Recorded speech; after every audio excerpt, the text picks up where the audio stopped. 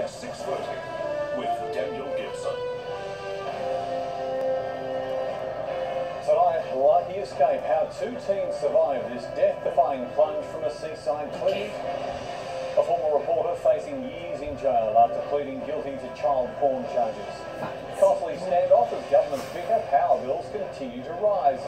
And Prince Harry steps out with his girlfriend in a rare royal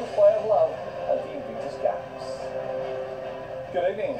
Two very lucky teenagers have somehow managed to escape unscathed after their car rolled off a cliff and plunged 20 metres onto rocks below. The duo has some explaining to do too about why they were there